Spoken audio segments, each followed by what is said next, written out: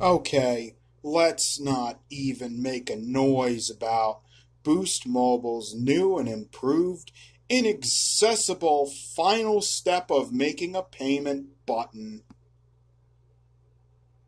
I mean, you didn't come here to hear me complain, so leave it in the comments section below what you want me to do instead. It's probably not going to involve phone calls for a while, though. Later.